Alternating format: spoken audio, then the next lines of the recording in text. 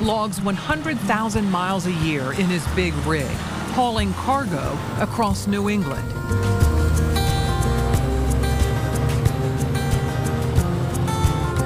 Landscaping products, bark mulch, wood chips. He's been driving a semi for 30 years, but now his load is more than he can bear. And it was like, wow, really? Uh, You know, a, a transplant? And uh, it just didn't seem possible. Mark's kidneys have failed. The 55 year old from Sandown suffers from end stage kidney disease and is desperate for a transplant. The wait list for a deceased donor is five to seven years. Mark turned to Plan B, a living donor. You never know what could be thrown at you in life. That, uh, but right now, I know I'm good, good to go. If I had a, you know, a willing donor, a healthy donor, Finding a match is like finding a needle in a haystack. So Mark and his wife Tammy cast a wide net. she threw the idea at me, and I said, geez, I don't, I don't know if the boss will go for it. I mean, was, and I hemmed and hawed. He eventually agreed and turned his tractor trailer into a moving billboard, a megaphone on 18 wheels, spreading the word. Mark needs a kidney. Would you share your spare? Oh, I get, yeah, I get people go thumbs up, you know.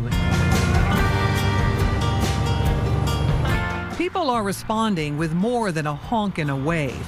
Calls are coming in from strangers.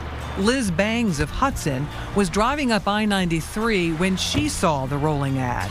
I actually thought it was a missing persons ad at first. When I first glanced by it, I was like, oh my gosh. When she drove closer, Mark's need became clear. So did her desire to alter his course. It actually hit me pretty hard when I saw it. It was kind of, I knew a little boy that needed to get a liver transplant, so seeing that someone needed a kidney was like kind of hit me close to home. No hesitation, despite never having met Mark. Liz was touched by his raw honesty. It was definitely a cry for help, is what it looked like to me. As Liz and other potential donors work through a battery of tests, Mark holds his breath.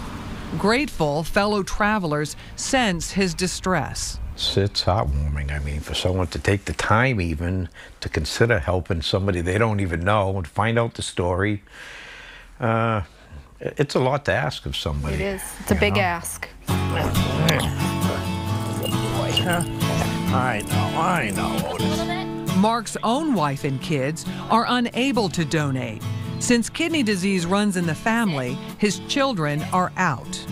it's tough just because you feel like you're you're the closest person that could help and being told that you can't you just try to find a way to help in different ways Tim Boomhauer and his sister Amanda are using their own megaphones, decked out in message t shirts, and they've adorned their cars with decals.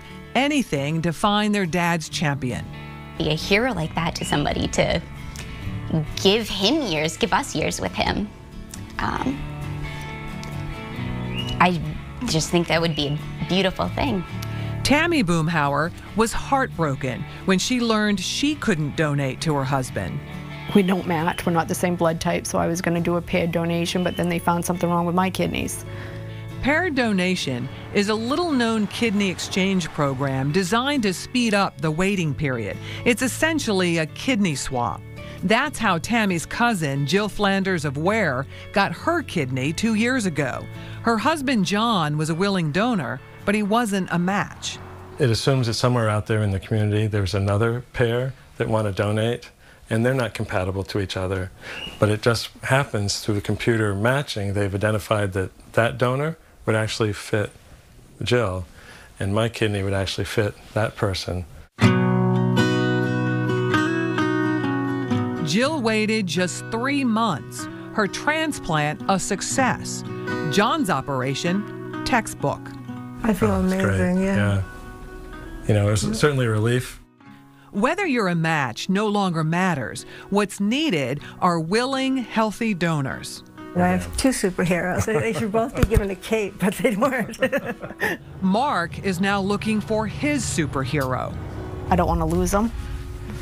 Uh, it's sad seeing him lie on the couch looking horrible, not even being able to move.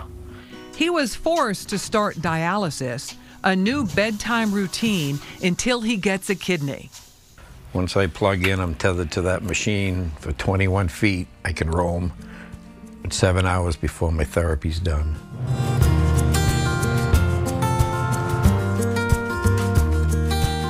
Mark and Tammy remain optimistic, encouraged by the outpouring of support. Hopeful they cross paths with an angel somewhere out there on the road.